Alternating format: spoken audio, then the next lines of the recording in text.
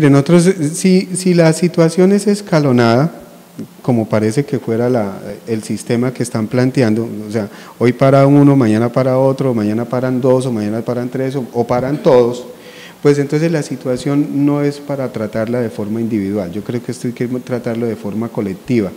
Entonces es mejor que estén todos los rectores y que estén todos los, todos los líderes estudiantiles en una sola reunión para que revisemos y que nos digamos la verdad.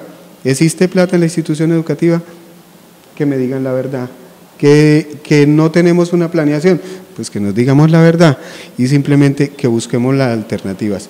Una cosa muy importante, no debemos dejar que al sistema educativo le entren agentes externos. Sabemos que hay agentes externos que están tratando con los muchachos, están trabajando con ellos, les están dando asesorías en la forma escalonada como parar las instituciones educativas. No estoy en contra de la protesta, pero sí estoy en contra de la manipulación.